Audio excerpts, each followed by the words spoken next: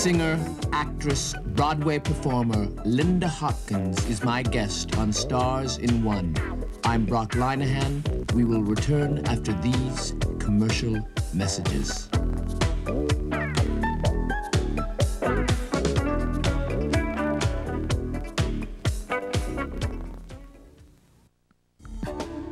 My name is Melba, the Disco Queen.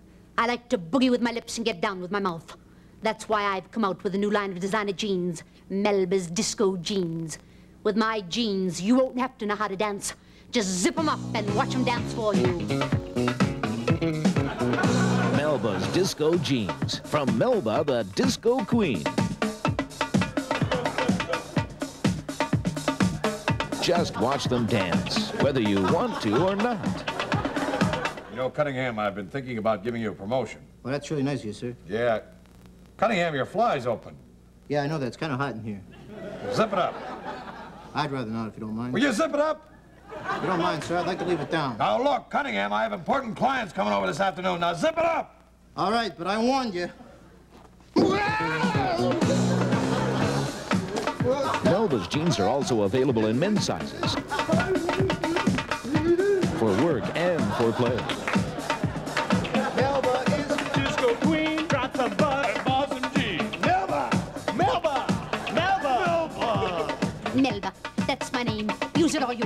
You'll never wear it out. Just look for the label on the back. Melba's Disco Jeans. Slip on a pair and watch your buns go wild.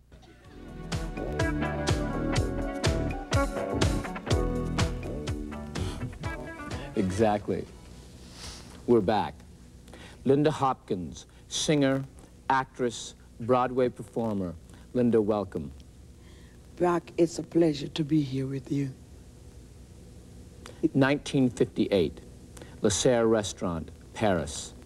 Present at the table, Debbie Reynolds and Eddie Fisher, Darryl F. Zanuck, Merle Oberon and her husband Steve Roman, and a Linda Hopkins. And isn't it funny that 24 years later, Debbie Reynolds and Eddie Fisher are no longer together, Darryl F. Zanuck is no longer with us, Merle Oberon is no longer with us, and a Linda Hopkins is engaged to be married to Merle Oberon's ex-husband, Steve Roman. What intrigues me is after all this time, why do you choose a script like Knock on Any Window, a script that even a Marty Ritt had initial problems with as a first-time movie vehicle? You know, I think you're a little confused, Brock. I was never in Paris in 1958, and I've never met any of those people that you mentioned in public. And the movie was not Knock on Any Window. It was called The Balconies of Paradise. Egypt, 1962. And a Linda Hopkins performs before a sold-out audience at the Nefertiti Theater in Cairo. Backstage, then President Abdel Nasser says to you, Linda Hopkins, you have brought light to the Middle East where there has been darkness. Tell us what you told him, because I think that it reflects a great deal of who you are and what you stand for. Brock, And uh, please, I'm sorry, but do the same hand gesture that you did when you related this story to Kate Hepburn. in the first place, Brock, I've never been to Egypt. And secondly, I've never met Kate Hepburn.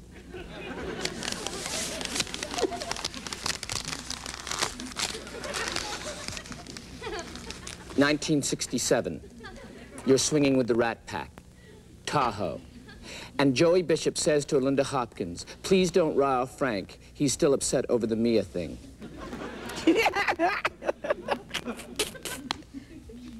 Rock baby, you're wrong. So what? You have been wrong. And that is a terrible, terrible research department you got. you know. It isn't very good, is it? No, no. No use in pretending.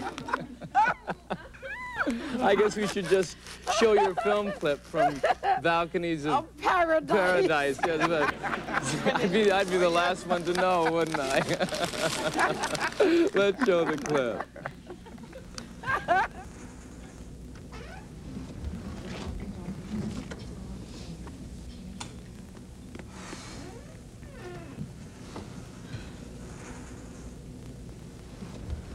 Grandma?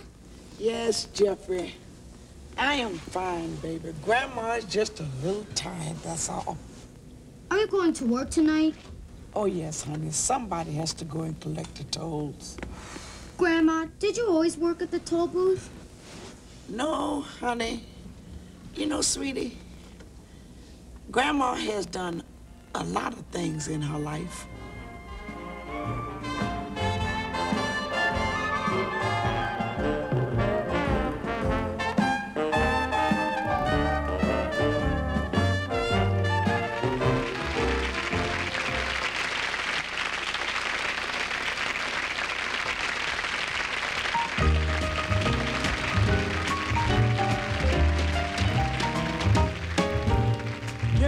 Nobody. Not until they're gonna love you. You're nobody, not until they're gonna care.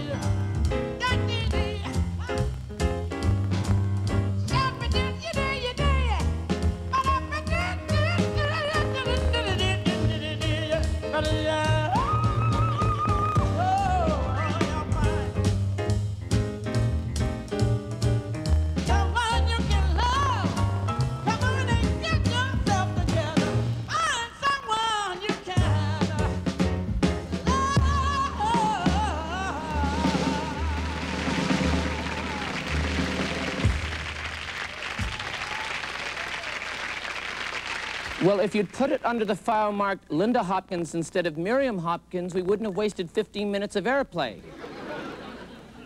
what scares a Linda Hopkins? I suppose it might be the sense of fearing tomorrow. In Or is it the fear of what stupid question you're going to ask next? Okay, that's it. I want you out of here. You're fired. I'm through with your incompetence. You're the one who's incompetent. I'm not incompetent. Is that right? Is that what you think? Excuse me, Linda, one second. How about two years ago when you had Dean Jagger on the show and you had me ask him why he left the Rolling Stones? Or when you had me ask Richard Rodgers why he had Trigger stuffed? Mistakes can happen. Mistakes can happen? Explain that to Werner Herzog when I asked him how much longer he'd be managing the St. Louis Cardinals. Well, you can't fire me. I'm under contract. Is that right? Well, you just watch it, okay? Just watch. Get out. Out of here. If the Neil Simon approached a Linda Hopkins with a film script involving the... Boys, boys! Hold it! Now freeze right there. Now, didn't I just finish singing a song of people caring for one another? And here you two are fighting like you're trying to kill each other. Don't you understand?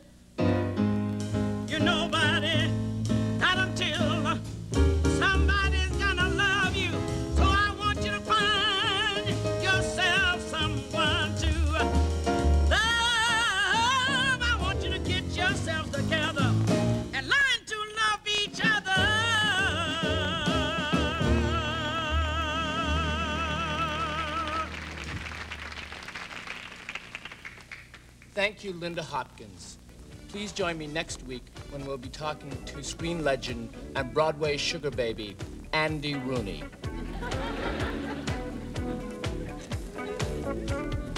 Andy Rooney.